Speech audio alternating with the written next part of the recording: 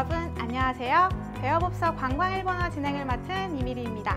자, 우리 지난 시간은요. 공항이라는 주제로 공항 수속 시 사용하는 표현에 대해 알아보았습니다. 다시 한번 체크하고 넘어가겠습니다. 자, 여권 보여주시겠습니까?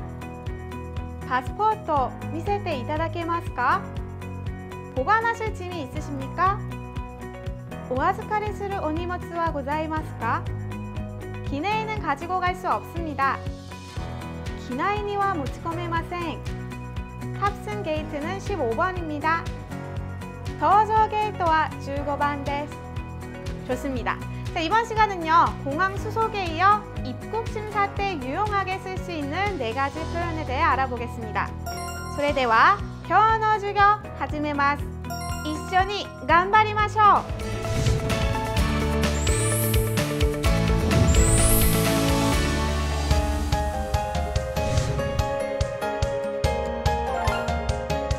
ご訪問の目的は何ですか観光です。仕事です。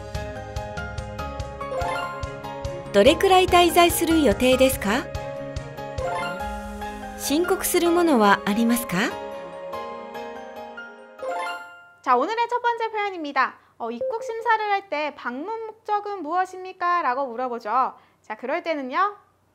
ご訪問の目的は何ですか?ご訪問の目的は何ですか? 라고 합니다. 자, 여기서 호몽은요. 방문이라는 말인데요. 앞에 접두어 고를 붙여서 ご訪問, ご訪問이라고 말하면요. 더욱 공손한 말투가 됩니다. 목적이 목적 난데스까 무엇입니까? 라는 말입니다. 뭐 입국 심사관마다 조금씩은 다르겠지만요. 여기서 중요한 포인트 일본에 입국한 목적을 물어보는 거죠. 목적 목적이 목적이 라는 말이 나오면요. 아, 방문 목적을 물어보는 거구나 라고 생각하시면 됩니다. 자, 같이 연습해 보겠습니다. 방문 목적은 무엇입니까? ご訪問の目的は何ですか ご訪問の目的は何ですか 자, 두 번째 표현입니다. 방금 ご訪問の目的は何ですか? 라는 질문을 받았죠. 그에 대한 대답입니다. 입국한 목적을 설명하면 되겠죠. 뭐 여행, 관광의 목적이라면요. 관광입니다. 관광 데스. 관광 데스. 라고 대답하시면 됩니다. 자, 관광은요. 관광을 의미합니다. 그래서 観光です 라고 하면 관광입니다 라는 말이 되겠죠. 자, 혹은 입국 목적이 관광 이외에 뭐 출장이나 일 등도 있겠죠. 자, 그럴 때는요. 일이라는 仕事라는 말을 붙여서요. 仕事です, 仕事です 라고 대답하시면 됩니다. 자, 같이 연습해 보겠습니다. 관광입니다. 観光です, 観光です, 일입니다. 시고토 데스, 시고토 데스. 자, 좋습니다. 자, 세 번째 표현은요. 뭐 상황에 따라서 체류하는 기간에 대해서도 질문하는 경우가 있습니다. 자, 그럴 때는 일본어로요. どれぐらい滞在する予定ですか?どれぐらい滞在する予定ですか? 라고 하시면 됩니다. どれぐらい는요. 어느 정도, 뭐 얼마나를 의미하고요. 다이자이는 체류. 그래서 다이사이스르 다이사이스르가 바로 체류하다가 됩니다. 바로 이 표현이 이 문장의 포인트가 되겠죠. 자, 그 다음 여태 예정 여태 데스까 예정입니까? 어느 정도 체류할 예정입니까? 얼마나 머무르실 겁니까? 노래그라이 타이자이스를 여태 데스까가 되는 것이지요. 자, 같이 문장 연습해 보겠습니다. 얼마나 머무르실 겁니까? どれくらい滞在する予定ですか? どれくらい滞在する 자, 마지막 네 번째 표현입니다. 자, 마지막 표현은 짐을 찾고 세관에서 신고할 물건이 있는지 물어보는 표현입니다. 신고쿠스르모노 아리마스까? 신고쿠스르모노 아리마스까? 자, 신고는요, 신고라는 뜻입니다. 그래서 신고스르, 신고스르 라고 하면 신고하다 라는 의미가 됩니다. 그 다음 모노는요 물건, 물품이라고 해서 신고쿠스를 모노 신고할 물품이 되겠죠. 신고할 물품이 아리마스까? 아리마스까? 있습니까? 라고 물어보는 표현입니다. 자, 이 표현 다시 한번 연습해 보겠습니다. 신고할 물품이 있습니까? 신고구 스르모노 아리마스까? 신고구 스르모노 아리마스까?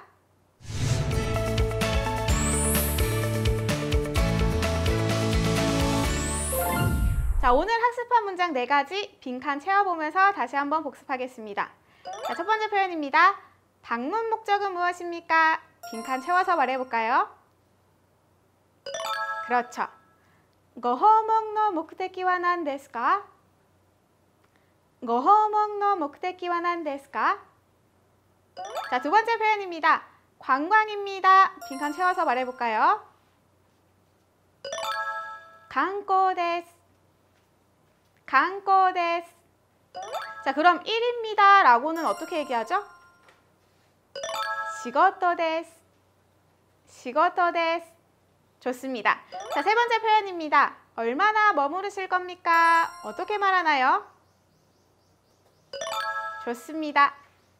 どれぐらい滞在する予定ですか?どれぐらい滞在する予定ですか? 라고 하시면 되겠죠. 자, 마지막 네 번째 표현입니다. 신고할 물품 있습니까? 빈칸 채워서 말해볼까요? 그렇죠.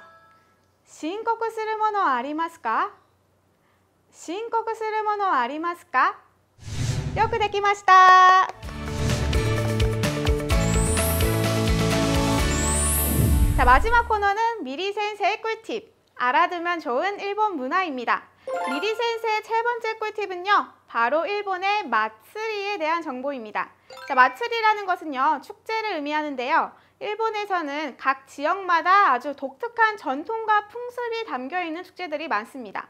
그중 일본의 3대 마츠리라 불리는 축제에 대해 알려드리겠습니다. 자, 첫 번째는요. 도쿄의 간다 마츠리입니다. 자, 5월 도쿄의 간다 신사에서 열리는 축제로요. 도쿄 중심부 지역을 가로지르는 행진의 볼거리입니다. 자, 두 번째는요. 오사카의 덴진 마츠리입니다. 자, 오사카 텐만구 신사에서 열리는 선상 축제인데요. 어, 수많은 등불이 강변을 밝히고 수백 척의 배들이 강을 왕래하는 모습을 볼 수 있습니다.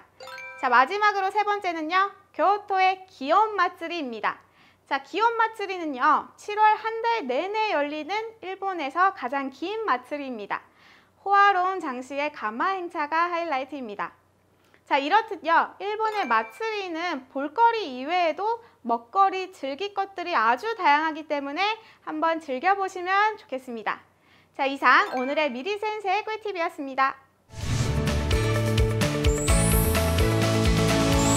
자, 지난 시간과 오늘에 이어 공항에서 추속을 하고 입국 심사를 할 때 쓰는 일본어 표현 배워보았습니다. 처음이라 금방금방 말이 나오지는 않겠지만요. 꾸준히 반복 연습하시면 자연스럽게 구사할 수 있을 거라 생각합니다. 다음 시간은요. 장소를 묻고 길을 안내할 때 쓰는 표현에 대해 학습하겠습니다. 수고 많으셨습니다. 다음에 만나요. 마다시다